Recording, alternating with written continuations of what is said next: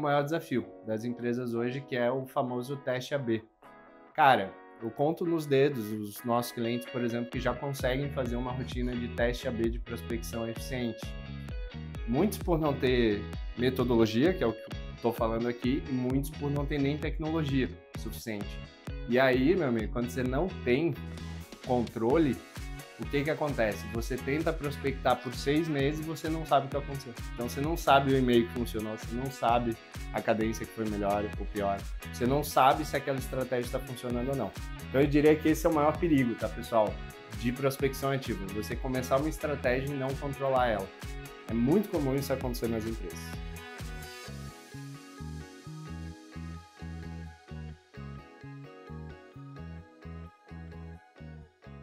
Fala galera, bem-vindos a mais uma edição do Growth Hub. Estamos começando mais um episódio do Hulk Talks. Para você que está chegando agora, seja muito bem-vinda, seja muito bem-vindo à nossa jornada de entrevistas com executivos, sócios, gestores, empreendedores, realmente pessoas que estão no dia a dia das operações, trabalhando com processos, desafios, montando time, escalando empresas. Então, o propósito aqui do Hulk Talks é esse: trazer muito conteúdo muita experiência, muita prática para você que quer crescer o seu negócio.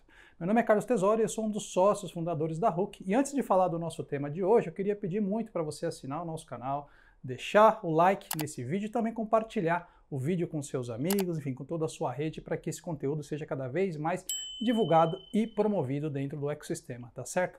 Gente, o tema de hoje é um tema muito legal um tema super bacana. Eu diria que de cada 10 gestores de vendas, 10 têm esse desafio, que é gerar eficiência no processo comercial, gerar eficiência na operação de vendas. Né? Geralmente, quando a gente quer crescer uma operação de vendas, quer gerar mais resultado, enfim, quer acelerar, né? tem aquele método tradicional que já não funciona mais, poxa, vamos investir mais em aquisição, eventualmente mais em mídia paga, contratar mais vendedores, aumentar equipe, estrutura, e esse modelo tem cada vez mais gerando, vem cada vez gerando menos resultado. Então agora a gente precisa olhar muito para a eficiência, para a produtividade né, da operação para a gente chegar nos resultados, muitas vezes com os mesmos recursos, otimizando os recursos, ou até mesmo diminuindo os recursos. Então o tema de hoje vai ser muito focado na eficiência comercial. E para falar comigo sobre esse tema, a gente tem um convidado muito especial. Comigo hoje eu estou aqui, estamos aqui com o Rafael, sócio da Inside conhece muito de vendas, dá aula, é consultor, palestrante, é, grava vídeos também, então conhece muito né, de processo comercial, de modelos de vendas, operações, sales enablement, tecnologias, métricas, tem muito assunto para a gente falar hoje, gente. Então, Rafa, obrigado pelo convite. Obrigado é, Veio de Floripa, né, para São Floripa, Paulo. Especialmente por esse podcast. então, queria muito agradecer aí a sua presença, é, por ter aceitado o nosso convite. É, é uma honra né, e um prazer tê-lo aqui com a gente. Tenho certeza que nós vamos discutir muitos assuntos, muitos temas que estão no dia a dia das operações aí da, dos times comerciais, dos gestores. Então, queria muito agradecer a sua presença, cara. Obrigado, obrigado a você, Tesouro, ao time da RUC por todo o convite, apoio e parabéns pela iniciativa do Growth Hub aí, que está sendo fantástico. Eu estou acompanhando, inclusive, os episódios. Não, então, eu espero contribuir porque a gente tem bastante assunto, inclusive você falou de a cada 10 vendedores profissionais de vendas, 10 tem esse desafio, eu me arriscaria a dizer que talvez sejam 11 ou 12.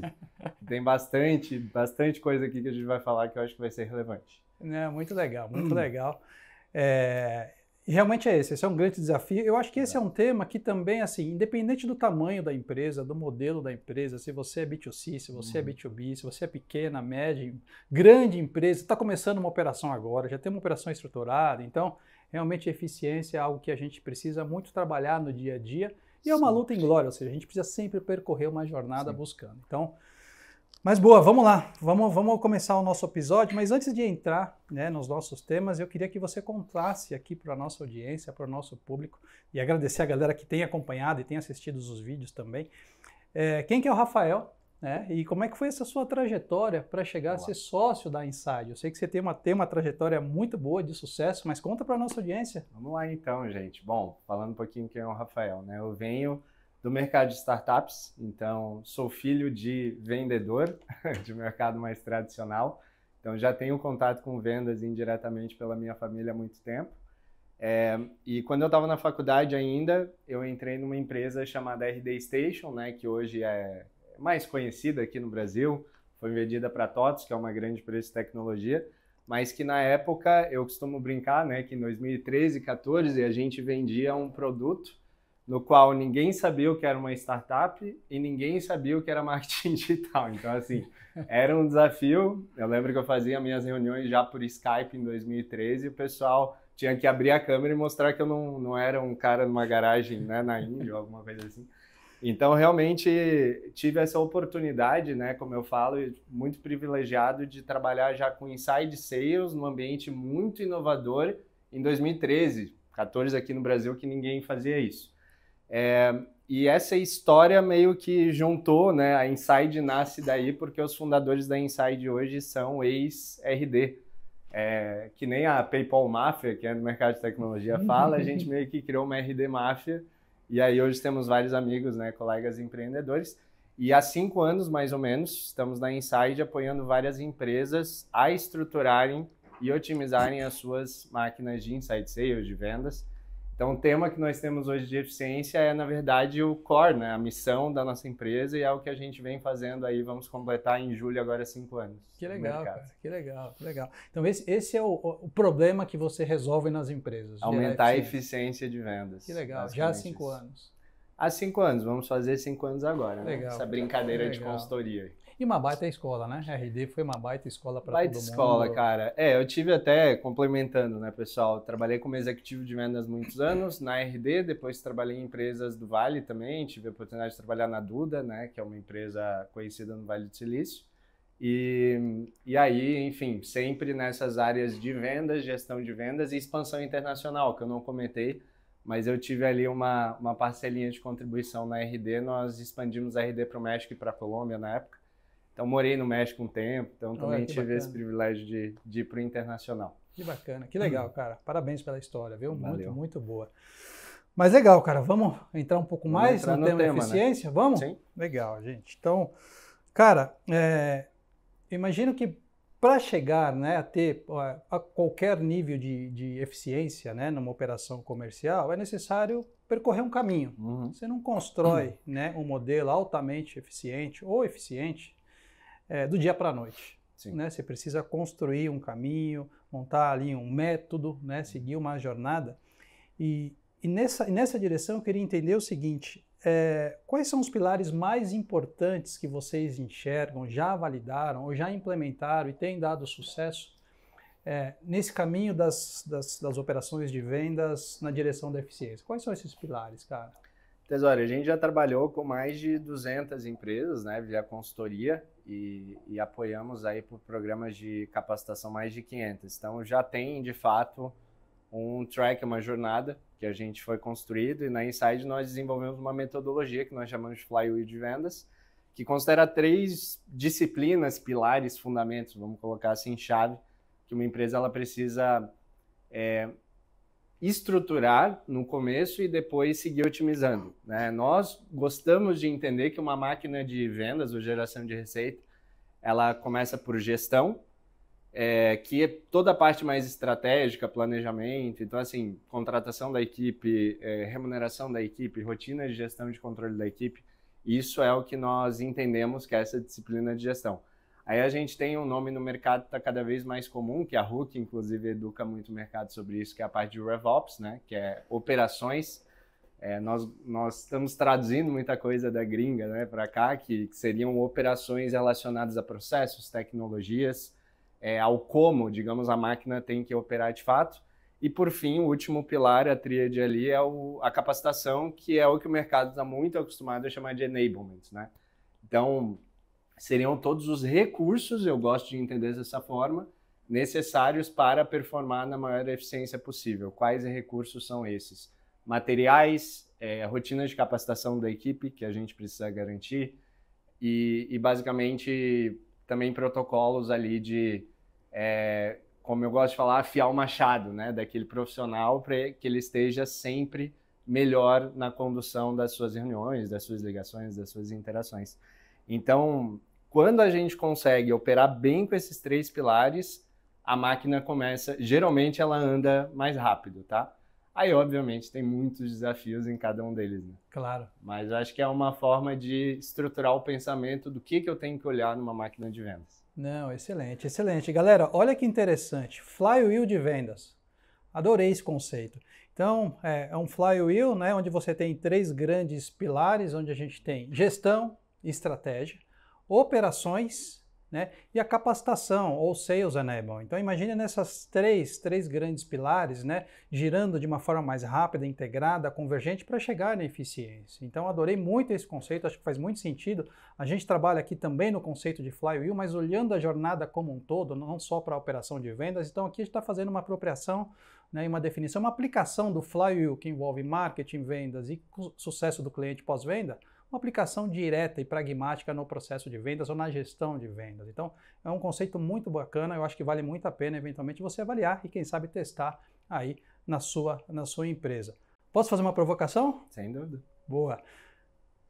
Tem alguma prioridade dentro dessas três, desses três pilares? Tem um, um que é mais importante, menos importante? É, ou essa, é todo, tudo, os três ao mesmo tempo? Como... Já no começo do podcast, Já no né? começo. não está no script, tá? Isso aí, pessoal. Mas assim, eu. Vamos lá, tem. Acho que tem.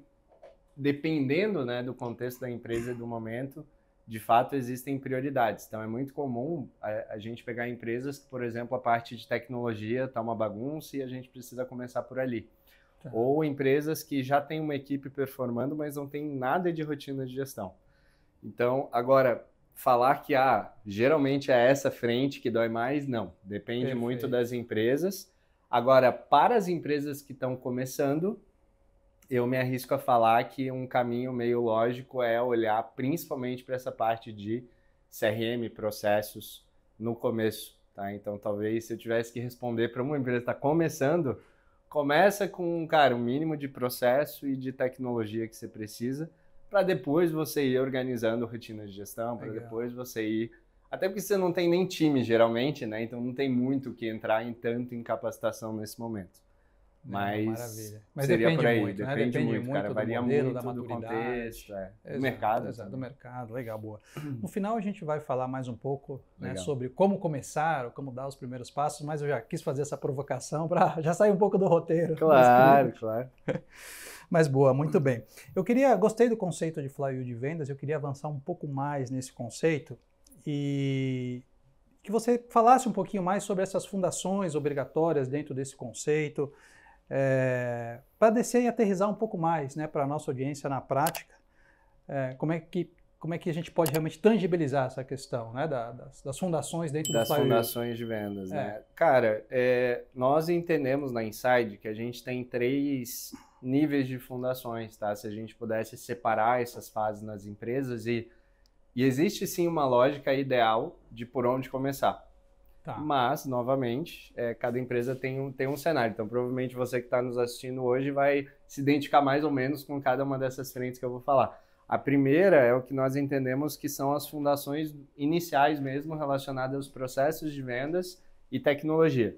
Então, é, tem aquele tema polêmico do CRM, né? Muita gente me pergunta, tá, Rafa, você recomenda um CRM desde o momento zero da empresa? Sim, eu recomendo um CRM desde o momento zero da empresa. Né? Muitas empresas que a gente pega com operações de anos já que trabalham via planilha, pô, tem problema com dado, tem problema com, com tem? automação, tem muito, cara.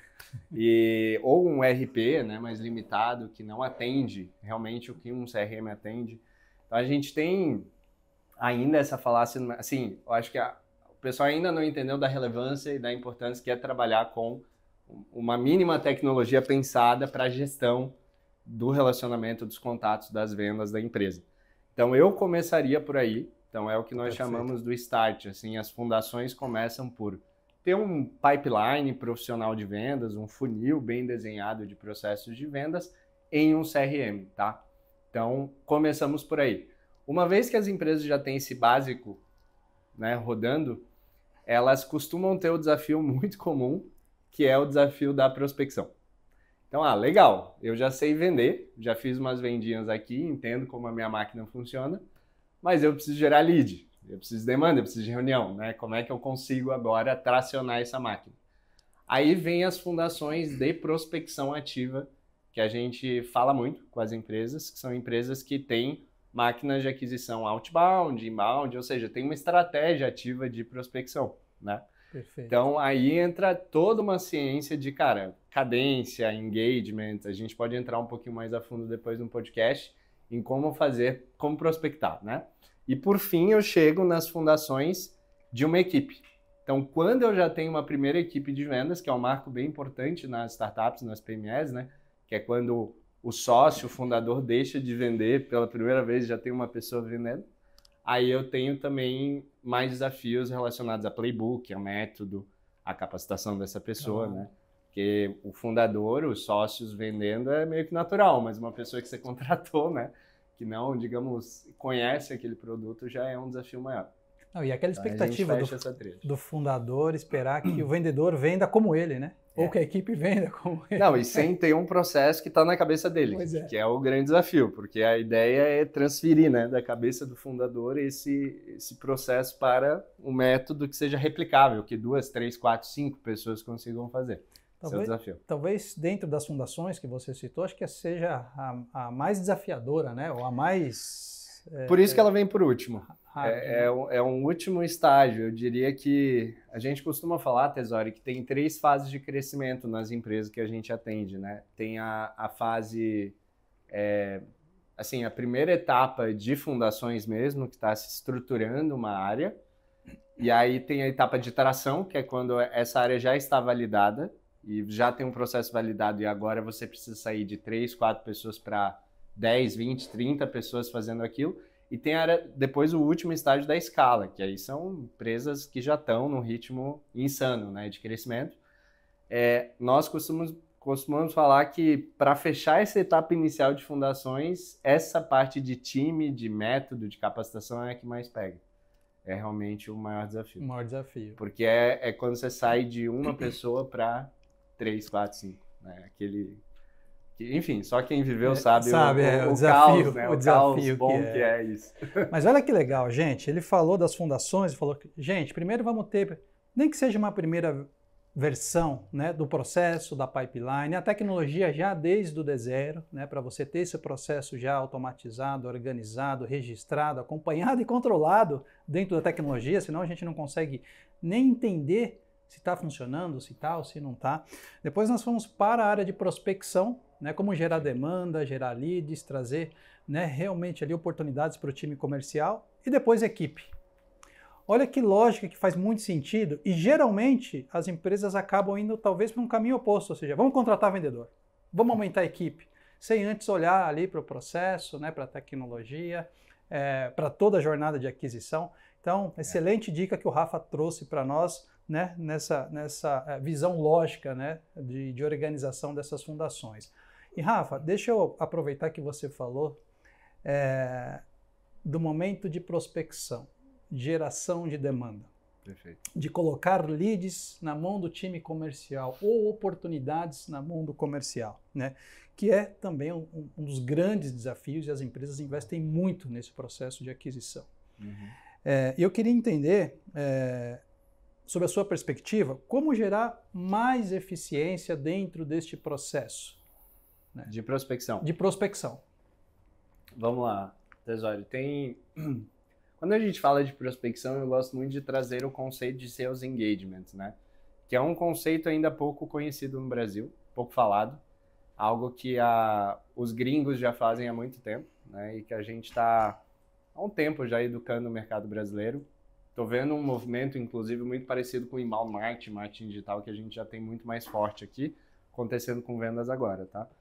É, e aí, quando a gente olha para a estratégia de engajamento, de ah, como eu uso essa estratégia ao meu favor para fazer uma máquina de prospecção eficiente, eu tenho quatro pilares, quatro, quatro coisas chaves que eu preciso garantir e bem desafiadoras para que isso funcione. A primeira é o tal do ICP, perfil de cliente ideal, que eu já vi conteúdo da Hulk aí, bastante conteúdo falando sobre isso. A definição desse perfil ela é chave, porque se eu não sei quem é o meu ICP, eu não, assim, nada acontece, né? Eu não, não tenho como fazer os demais passos. A segunda, o segundo pilar é relacionado à geração de dados, né? Principalmente quando a gente trabalha no outbound, é muito desafiador gerar listas de contatos qualificados com aquele perfil. É, no inbound é desafiador chegar num perfil ideal, mas você né, tem leads chegando. No outbound você precisa ir atrás desses leads, né, via LinkedIn, via ligação, via e-mail. Então, essa ciência de geração de lista é uma coisa que as empresas relevam hoje, nem sabem que existe uma série de tecnologias para isso, uma série de processos para isso, e é complexo, cara. Complexo. Tem muita empresa que tem dois, três, quatro LDRs, que é um profissional que só gera lista, só, só olha para isso e faz tudo na unha mesmo, no, na mão. O cara passa o dia inteiro gerando base. Pegando planilha e enriquecendo dados, né? E, e, aí, esse pilar eu diria que é um pilar hoje que nós, assim, nós temos clientes que travam muita coisa, porque depende muito do ICP. Poxa, dá um exemplo aqui, só, só um, mas tem milhões, né? É mercado agro. Cara, o mercado agro é um mercado no Brasil que tem muitas propriedades que estão no meio do nada e que não tem dado. E aí, como é que você chega nelas, né? É só um exemplo, mas tem milhões de exemplos que daí, de acordo com o ICP, a gente mapeia esse processo de geração de dados. Aí, uma vez que eu tenho os dados, eu consigo prospectar, aí eu vou para o como eu prospecto. E aí tem dois elementos chaves, né? Os últimos dois, que é quais canais que eu vou usar para prospecção então, eu vou ligar, eu vou mandar e-mail, vou mandar LinkedIn, eu vou mandar WhatsApp, vou mandar sinal de fumaça, sei lá, vou, o que, que eu vou fazer. E o copy, a abordagem. Então, legal, como eu vou mandar esse e-mail? Qual que é o, qual que é o pitch? Quão personalizado vai ser esse pitch? E aí, esse fluxo todo de seus engagement, é, o mercado usa como a principal ferramenta para, digamos, implementar isso nas empresas, as cadências de prospecção. Então, é muito comum o mercado falar de cadência, né? Ah, eu preciso construir uma cadência X, uma cadência Y. É, mas isso nasce desse conceito, né, de, desse fluxo. Então, perceba que para construir cadências não é tão simples. Eu preciso saber o meu ICP, preciso saber de onde vou tirar dado, preciso pensar nessa cadência, estruturar os COPs, e aí vem o maior desafio das empresas hoje, que é o famoso teste AB. Cara, eu conto nos dedos os nossos clientes, por exemplo, que já conseguem fazer uma rotina de teste AB de prospecção eficiente. Muitos por não ter metodologia, que é o que estou falando aqui, e muitos por não ter nem tecnologia suficiente. E aí, meu amigo, quando você não tem controle, o que que acontece? Você tenta prospectar por seis meses e você não sabe o que aconteceu. Então, você não sabe o e-mail que funcionou, você não sabe a cadência que foi melhor ou pior. Você não sabe se aquela estratégia está funcionando ou não. Então eu diria que esse é o maior perigo, tá, pessoal? De prospecção ativa. Você começar uma estratégia e não controlar ela. É muito comum isso acontecer nas empresas. Tá? Então, gente, ICP, né, dados, canais, conteúdo, né, refraseando aqui o que o, o que o Rafa trouxe para nós, cadência, teste AB e as rotinas de análise e mensuração contínua. Então, esse é o método, esse é o modelo para você ter sucesso na sua operação e gerar eficiência na prospecção ativa. Certo, Rafa? É isso aí, Tesori, tem mais, né? É, o pessoal pergunta, tá, mas tem uma fórmula mágica, tem uma cadência que funciona para minha empresa? Assim, e aí, nada contra, mas já tendo algo contra, né? Muitas muitos produtos digitais no, ou influencers ou mentores que falam que tem a cadência ideal para o seu caso, que vai triplicar as suas vendas. Cara, nós não acreditamos nisso, tá? A Inside a gente já tem mais de 100 modelos e estratégias de cadência que a gente já implementou, sem dúvidas, e tem alguns padrões que a gente pode aprender com, mas, gente, tem que testar. Tem que testar. Eu acho que a resposta é essa. Tem que pegar, personalizar e seguir um caminho, seguir uma estratégia e ver na prática as taxas de conversão, de quantas tentativas, quantas reuniões foram geradas, de quantas reuniões, quantas vendas no final foram, é, foram trazidas para casa. Então, eu não acredito que tenha bala de prata, tá? Mas eu acredito sim que o, esse fluxo e esse método que você acabou de citar é sempre o mesmo. Agora, o como vai ser a abordagem, o copy, vai variar muito de cada empresa. Perfeito, tá? perfeito. Tá? Não, maravilha. E você falou numa palavra e você falou, né, uma palavra aqui que é a personalização. Personalização né? é chave para esse processo. muitas vezes as empresas acabam não fazendo. Geralmente cria uma cadência genérica. Bota para todo mundo rodar dentro dessa cadência, deixa ali uma semana, duas, três sem análise, sem avaliação, sem olhar os indicadores, e aí é claro que o resultado acaba não vindo. Cara, e, a, e assim, eu acho que tem dois elementos né, para copy, para abordagem muito chave. O primeiro é essa questão da personalização que você falou, que hoje tecnologias como a própria HubSpot, né, elas já te permitem personalizar muita coisa, muita propriedade, muito dado mas também a própria abordagem, o storytelling que você usa, né? O quão apelativo você é, perfeito, é, perfeito. é, o quão provocativo você é, quão polêmico você é. Então tem aqueles famosos gatilhos da persuasão ali, que, cara, é ciência, tem muita coisa que você pode usar. Claro, né? claro. Muita coisa mesmo. E eu vou polemizar um pouco mais esse assunto. Pode dar. Tá? Eu acho que é muito legal, acho que, Vai cara, dá pra, gente, é, dá pra gente falar muito.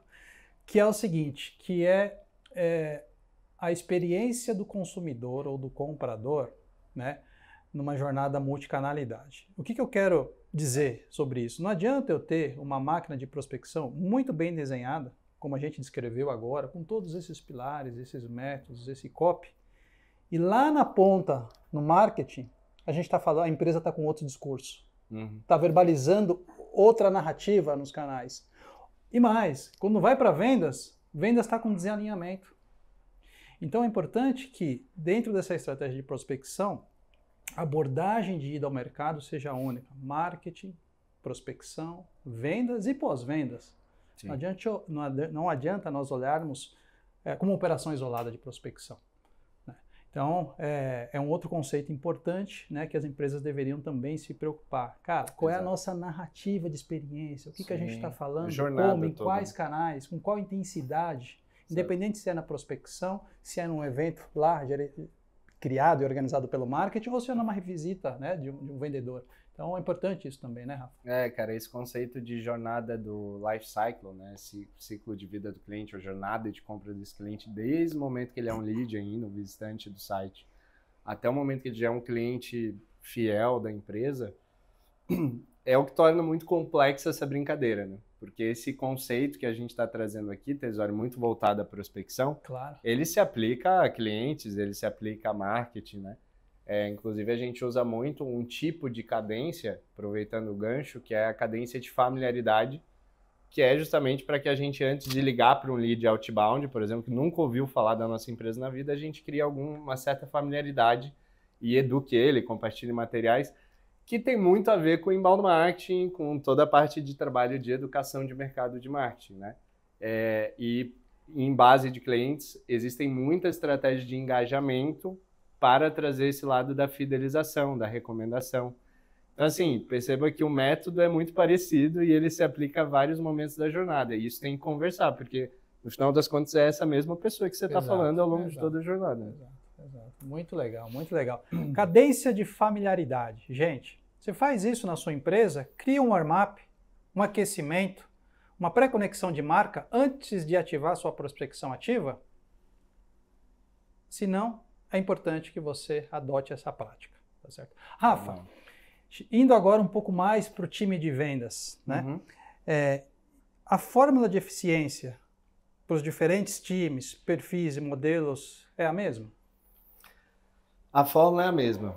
E aí vem o.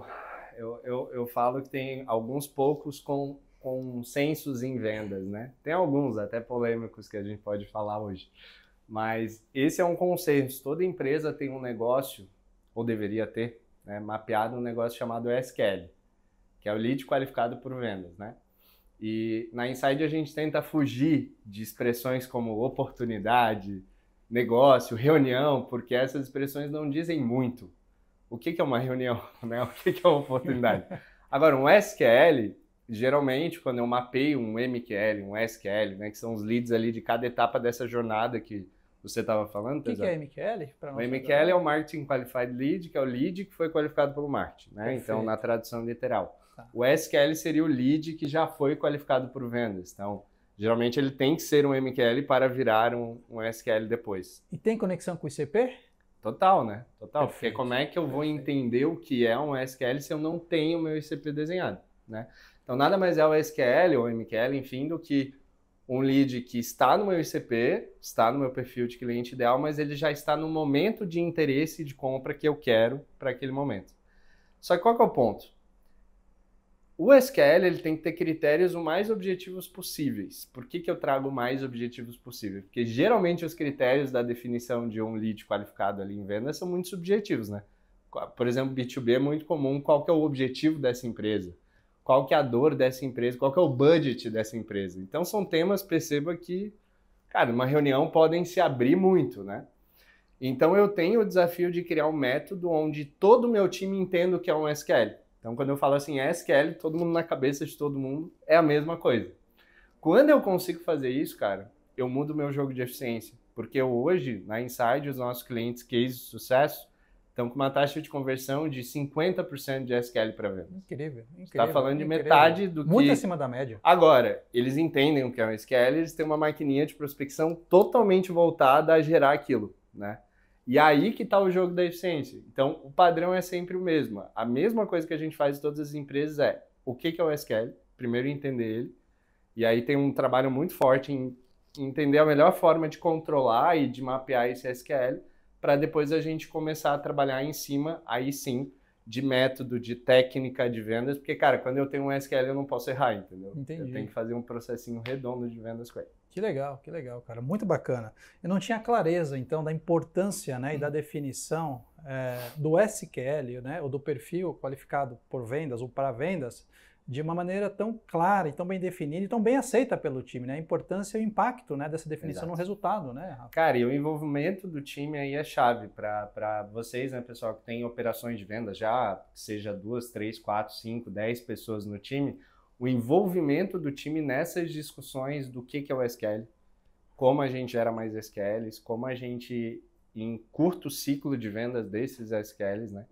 Porque a forma de eficiência de vendas, a gente fala muito sobre uma métrica chamada Sales Velocity Rate. Não sei se o pessoal conhece, mas é basicamente uma métrica de velocidade de vendas, né? E quando a gente pega essa métrica de velocidade de vendas, ela é um, um conjunto de componentes que é basicamente volume de oportunidade que você gera, ciclo de é, taxa, taxa de, conversão de, conversão do funil, que é, por exemplo, quantos por cento de SQL para vendas que a gente estava falando, ticket médio né, das vendas que você faz, dividido pelo ciclo do tempo que você demora para fazer. Ou seja, quanto mais rápido você vender, mais eficiente você é. Quanto maior a tua taxa de conversão, mais eficiente você é, né?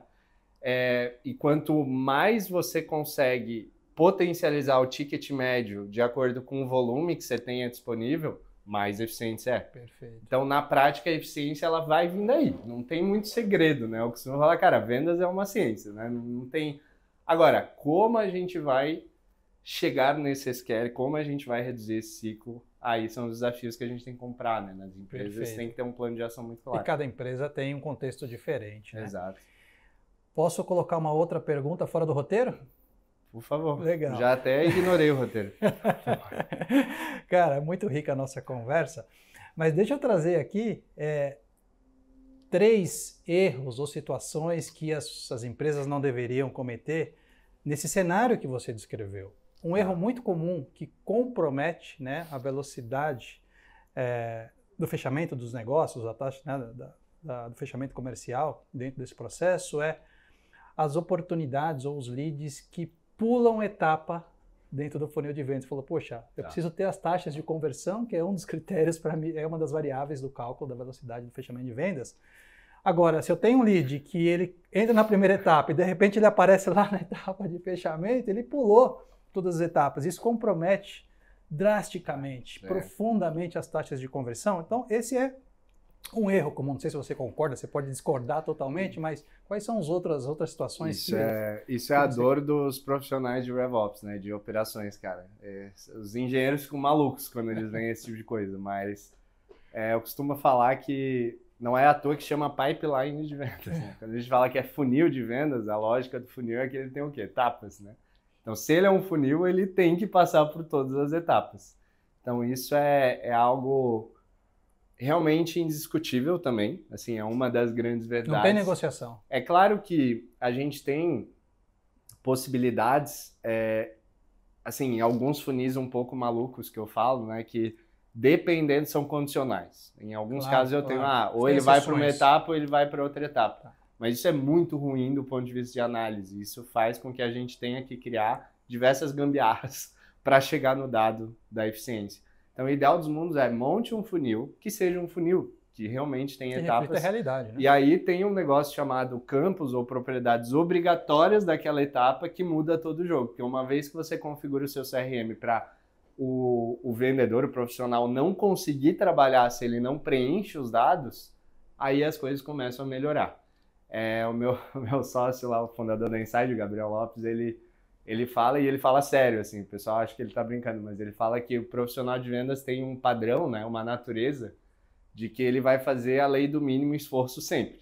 Então, assim, se o CRM não estiver ajudando ele a trabalhar e não estiver botando na cara dele Ele tudo que ele tem que fazer, e se para ele ganhar a comissão dele, ele não for obrigado a fazer aquilo, ele simplesmente não vai fazer, entendeu? Claro. Então a gente tem que seguir essa premissa de que o processo tem que conduzir as pessoas e ajudar elas a, a trabalhar na, naquela linha, não o contrário. Não tenho que esperar que o meu profissional lembre de, de todo dia preencher aquele dado se aquilo não vai abrir via pop-up para ele, por Claro. Porque no final do dia o que ele quer vender e bater a meta, né? Então, lembra da Flywheel que a gente falou? Gestão, operações, RevOps e Enablement, capacitação. Cara, RevOps, operações, tem todos esses detalhes. Você trouxe só um, mas tem vários detalhezinhos no processo que ter realmente um processo, um CRM minimamente estruturado, cara, faz muita diferença no final Total, do dia. total. tá? Especialmente quando se fala, e aí um outro tema, né? Forecast, previsibilidade, né? Exato. Quanto você tem de acuracidade, acuracidade né? Na, na- na certeza de fechamento de vendas. Não, isso impacta em várias Cara, e tem assim, ó, você falou erros, né? Tem vários, tá, Tesório? Dá pra fazer um podcast só de os principais erros de vendas, mas eu vou trazer um aqui que, que eu até essa semana falei bastante em workshops lá com clientes.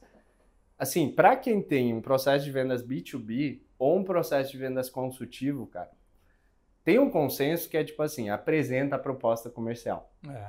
Tem muita empresa que não apresenta a proposta comercial, que manda ela por e-mail. Não faça isso, gente. É simples. Não faça, não funciona, tá? Isso é um consenso. Você perde pelo menos 50% de conversão quando você não apresenta uma proposta e só manda ela por WhatsApp ou e-mail. Perfeito. É claro que tem, ah, mas o meu mercado é B2C, ah, mas eu trabalho no e-commerce. Ah, claro, tem empresas e empresas, e mais uma empresa de venda consultiva e complexa, ela deveria se preocupar com essa etapa de apresentação de proposta. Porque é muito chave no, no processo, na eficiência, essa parte de apresentação de proposta, tá? Gente, então mais um ponto de atenção. Não envie a proposta por e-mail. Se você trabalha com vendas complexas, B2B, ciclo longo, diferentes interlocutores, muitas, venda, muitas vezes né, venda consultiva, ticket alto, não envie a proposta por e-mail. Por quê? Se você envia por e-mail, certamente, certamente existe uma grande possibilidade do cliente não te retornar Exatamente. de você tentar fazer follow-up, ligar, mandar e-mail e simplesmente o seu lead vai desaparecer. Será que isso é comum na sua operação? Faça essa reflexão, porque qual é a causa que isso está acontecendo, tá certo? Boa, Rafa, excelente, cara. Vamos avançar mais um pouco aqui. Eu queria entrar num assunto também super importante e relevante que é relacionado, né? Um assunto relacionado às métricas Tá. e às metas, né? Como definir as metas e métricas de forma é, realista e alcançável, cara? Cara, quando a gente fala de métricas, inclusive tem um artigo da Inside bem interessante, da Bacana. Tesouro, que a gente vai deixar aí na, com vocês para compartilharem com, com a audiência, onde a gente traz uma série de KPIs de vendas, como utilizar, quais são os principais indicadores. Mas um pouquinho de contexto, eu gosto muito de um livro, até para indicar para os amantes de leitura aí, que é o Cracking the Sales Management Code, que é um livro muito assim, incrível para métricas, e traz mais de 300 métricas de vendas que você pode usar. Animal. É o livro do Vale, enfim, infelizmente não tem a versão em português, só em inglês, mas é um livro muito, tecnicamente muito bom para a gente desmistificar essa parte mais de gestão de indicadores, né? De como é que eu controlo a minha operação, como é que eu entendo as alavancas de crescimento. E basicamente ele traz três níveis é, clássicos, né? Que a gente olha uma operação de vendas, que o primeiro nível, sem dúvida, são os resultados de negócio, são aqueles resultados mais voltados a aos indicadores finais, como por exemplo receita gerada e fechada, né, volume ali de, é, de contas. Margem, né? Margem, por exemplo, bruta do negócio ou, ou líquida do negócio, enfim. Então, essa parte é de resultado de negócio. Aí a gente tem uma, uma parte que está, digamos, no, mais tática, né, que são os objetivos de vendas. Então, aqui entram geralmente indicadores de geração de oportunidades, volume de geração de oportunidades, ou indicadores relacionados à taxa de conversão de funil, que eu preciso manter um controle, ciclo de vendas, né? Legal. Então, entra tudo aqui. E eu tenho um último nível, que esse é o que a maior parte das empresas não consegue fazer e se perde, que é a parte operacional de produtividade e gestão de atividades, né? Então, eu entender quantas ligações, quantos e-mails, é, qual que é, quantas reuniões estão sendo conduzidas, dessas reuniões qual é o período e o tempo delas, é, tipos de reunião por etapa, tudo isso entra nessa parte de produtividade para eu entender se os meus profissionais estão performando no ritmo e no nível que eu espero. Porque assim, vendas é um esporte de contato e de volume e eficiência sempre. Eu preciso ter um SDR, um BDR, um profissional de prospecção ativa, fazendo 70, 100, 150, 200 atividades por dia, dependendo do modelo. Porque se ele não fizer isso, a conta não vai fechar. fechar então é bem importante essa parte de produtividade também. Então com isso a gente fecha uma visão bem estratégica do todo, né, da empresa. Métricas, indicadores de estratégia, de estratégia uhum. tática e operacional, e operacional, de produtividade. E elas estão totalmente é, interligadas, né? Então, é isso que você falou, não adianta então. eu fazer uma ótima reunião e não ter volume, ou fazer ter volume e fazer ótimas reuniões e não vender. Então elas estão todas conectadas, né? Exatamente, tá? Estão conectadas e o desafio maior geralmente está nesse último nível tá, é, operacional. operacional que é o que é onde a gente tem desafios de tecnologia geralmente, né? Perfeito. De como eu consigo dado, da onde eu pego essa, essa Ferramentas informação. certas, né? Se o CRM está sendo devidamente utilizado e preenchido, claro. aquela questão clássica de vendas, né? É. Que ah, meus vendedores não preenchem meu CRM. quem, quem daí já passou por isso? Não, muito bom, cara, excelente. Adorei essa pauta de métricas Inclusive, eu vou deixar o convite para você voltar e a gente falar só sobre métricas. Métricas, Legal. indicadores. Vamos descer nesse nível um pouco mais. É, pra, tem, pra tem um negócio que a gente nem falou muito hoje, mas só dando spoiler, que são também rotinas de gestão e de controle. Porque uma coisa é você ter essas métricas e outra coisa é você é, realmente ter uma boa rotina e protocolo de usar essas métricas ao teu favor. Muitas empresas têm os indicadores, mas não usam é, essa análise de forma concreta para mudar, né, para melhorar a operação. Então, há rotinas como pipeline review, forecast, várias dinâmicas de controle com o time são fundamentais para que você consiga pegar esses indicadores e transformar a sua operação, Perfeito. porque é, é, é, mais difícil do que parece, Tesório. Assim, não é, não é só ter o dado. Claro. Ter o dado é só parte do problema. Depois é o que eu vou fazer com esse dado. Né? exato, exato. Não, mas tem empresas que nem o dado tem. Nem o dado tem, tem né?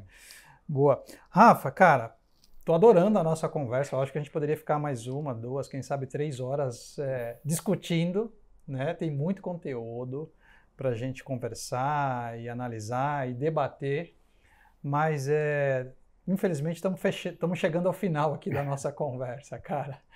Mas, de novo, eu quero já deixar o convite para você voltar e a gente descer um pouco mais e, em alguns temas.